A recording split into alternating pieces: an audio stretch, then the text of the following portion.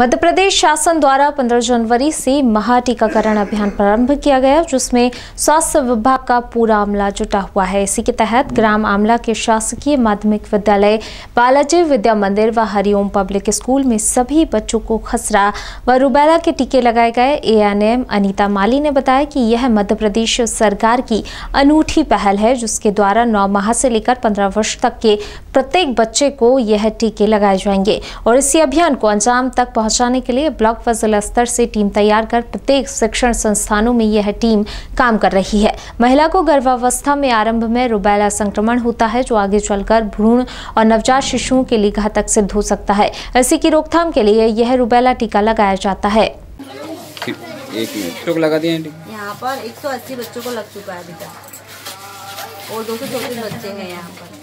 बाकी को लगना है। बाकी को लगा ही रहे सभी उपस्थित है यहाँ पर कोई ऑप्शन नहीं है। हम्म, किस पद पर हो आप यहाँ? हम एन के पद पर है और ये शासन के अभियान के अंतर्गत हम यहाँ एम आर वैक्सीन के लिए आए हैं। और ये जो जानलेवा बीमारी है खस, आ, खसरा और रूबेला। अच्छा। जो नौ माह से पंद्रह वर्ष तक के बच्चों की आयु को ज़्यादा प्रभावित करता है। ये ठीक है।